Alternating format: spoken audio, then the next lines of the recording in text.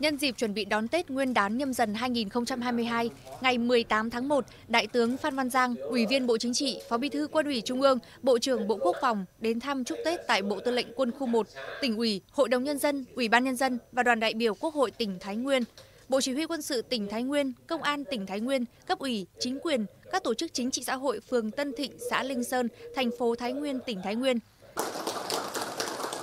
Tại các cơ quan đơn vị, Đại tướng Phan Văn Giang nhấn mạnh những kết quả nổi bật trong công tác quân sự quốc phòng của toàn quân năm 2021, nhất là kết quả tham gia phòng chống dịch bệnh COVID-19, góp phần giữ vững ổn định, tạo môi trường thuận lợi cho phát triển kinh tế xã hội, đồng thời bày tỏ vui mừng phấn khởi khi các đơn vị địa phương đều hoàn thành tốt mục tiêu kép, vừa thực hiện nhiệm vụ chính trị, vừa phòng chống dịch COVID-19 hiệu quả.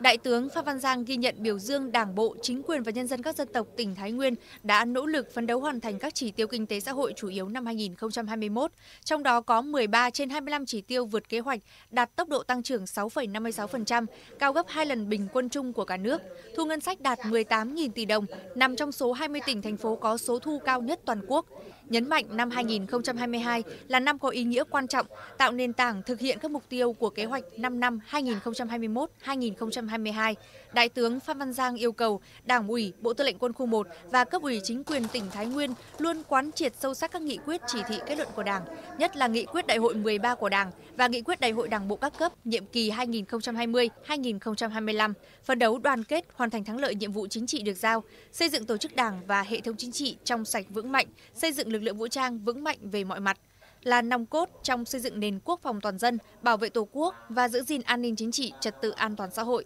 thực hiện tốt các chính sách an sinh xã hội, công tác chính sách quân đội, hậu phương quân đội, góp phần xây dựng thế trận lòng dân vững chắc. Trước mắt, tổ chức đón Tết Nguyên đán nhâm dần vui tươi, an toàn, tiết kiệm, cảnh giác cao. Nhân dịp này, đồng chí Bộ trưởng Bộ Quốc phòng đã tặng 60 xuất quà cho các gia đình chính sách, gia đình có hoàn cảnh khó khăn trên địa bàn phường Tân Thịnh và xã Linh Sơn, thành phố Thái Nguyên.